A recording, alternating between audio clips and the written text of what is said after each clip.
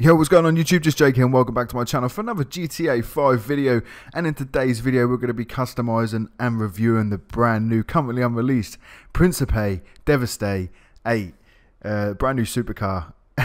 this looks insane, man. This looks fucking crazy. This is the only supercar um, from the unreleased vehicles from the Arena War update, which in a way I am quite happy about because in previous updates, we've been bombarded with um, supercars, and um, it's about time that they've slowed their roll a little bit on the supercars.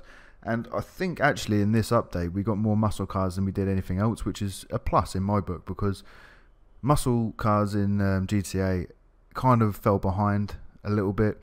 It was all about supercars and sports cars.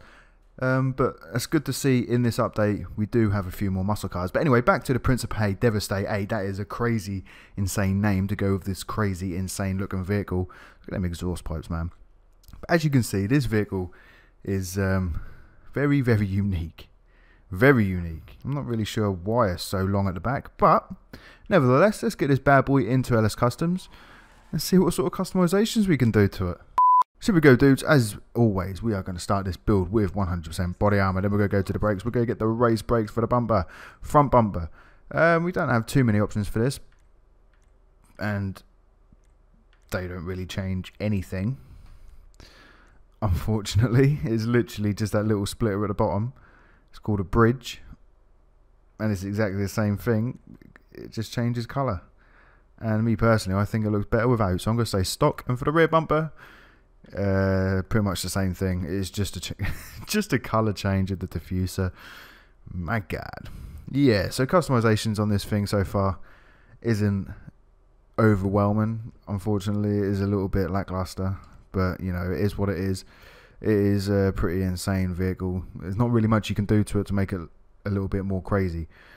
But anyway, what we got next? We've got the chassis and we've got the primary trim secondary trim. Uh, uh literally just changing that bottom bit underneath the window wiper there. Wow. My God. That, what is the point of even, cha even changing it? You, don't, you hardly even see it, man. What is the point? Why even put it in there? Shit. Anyway, moving on. Engine. We're going to get the level 4 engine upgrade. The exhausts are crazy enough. You can't really see what it is here we go. If we accelerate, we get rid of the smoke so we can see what's going on in there. So you can get gold stubbies.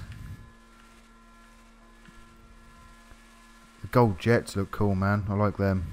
And the titanium jets. I I'm going to go with the titanium jets. And it's sad that the, the most customization so far is the exhaust pipes. What's all that about? But anyway, we're going to go titanium jets, like I said. Skip the horn headlights. We're going to go the Xenon headlights. We're going to skip a neon kit for this build. Then we've got the liveries. And we've got the pink pinstripe. That's... actually don't look too bad. It's alright. It makes it look a little bit futuristic, you know. And then we've got the racing liveries. Plus 9,000. Not really sure what that means. Then we've got... Oh, man. Why would you do it? Why would you do it to a car as beautiful as this? Then we've got Lux Stripes, Grey Pinstripe, which is obviously going to be the same as the pink one, which you can just about see.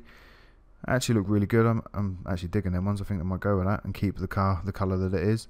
Then we've got the negative stripes. You can just about make them out. Then we've got the Sessanta Nove. That's not too bad. Pretty classy. Got junk. Hmm. So if you want to go for that race car livery vibe, I think this is probably the best one that we've come across so far. And then the ammunition, and that's it. So these ones I don't really like. You know, the heavy sponsored liveries. I think they look a bit weird, especially on a, such a awesome looking supercar.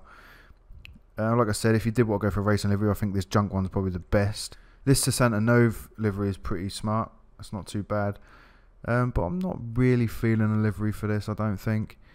The pink one was, you know, unique, a little bit different. Uh, yeah, I'm not a massive fan of it, so I'm going to skip past that. Then we are going to go to the respray. We're going to go primary colour, go metallic. And I'm feeling, I don't even know what I'm feeling for this, man. Maybe like a, a purple? Shit. That looks nuts. Bright purple actually looks really really good. Especially with them black rims, because I highly doubt I'm going to be changing them rims. Because um, they are something special. But I'm actually feeling purple for this. So I'm going to go a metallic bright purple for the primary colour. And for the secondary colour, I'm also going to go metallic. And I'm assuming this is just going to change the wing mirrors, which it does.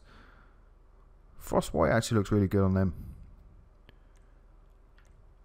Or ice white. I'm going to go ice white for the secondary colour in metallic. And next we're going to go to the trim colour. Is this actually going to be the colour of the interior? Which it is. Might go bright purple. Hell yeah, man. Let's go bright purple for the interior. Then we do get an option for a spoiler, which is something I wasn't really expecting. And they're just going to be little shitty little spoilers like that. How pathetic is that? But you do get a traction upgrade, which is um, obviously good if you're going to be using this vehicle for races. So you do kind of want to buy a spoiler if you're going to use it for a race. But if you're just going to be using it for around the streets of LS, not really much point in buying it because I think it's going to ruin the look of it somewhat. Yeah, and these ones are odd, especially that man. They just look just look out of place, don't look right. Um, like I said, if you're going to use it for a race, obviously you do want to purchase a spoiler just because you get the uh, the traction upgrade. And in my opinion, it would have to be uh, these ones, the aero split ones, because they're the smallest ones on the back, and they, they don't really look that bad. They look shit, but they don't look as bad as the others. But for me, I'm going to stay with none for the spoiler. Then we're going to move to the suspension. I'm going to get the lowered suspension transmission. We're going to get a race transmission. And we're going to get the turbo tuning. And to finish off the build, because we're going to skip past the wheels, because these wheels are awesome, we're going to go to the windows, light smoke, to finish the build off. So you go my dudes, there is my build on the currently unreleased Principe Deveste 8.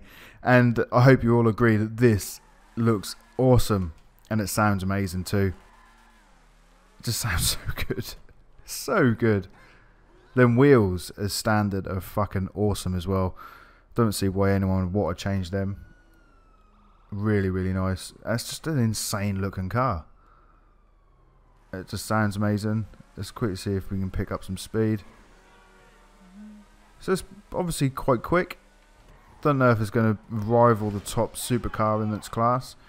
Um, obviously, you'd have to wait for an official supercar testing video to come out to to see what's going on with that. But it feels alright. It feels responsive. It feels quick. Ooh, ooh, and it likes to, it does stick to the road. Like there, it could have quite easily spun out, but it was well saved. And um, I'm overly impressed with it. Looks, speed, handling, yeah, man. I think it's uh, it's definitely a winning supercar. But anyway, guys, I think that's going to be the end of the video. If you did enjoy, please hit that like button. If you haven't already, why not subscribe to my YouTube channel for more GTA 5 videos like this. And until next time, guys, I'm out. Adios.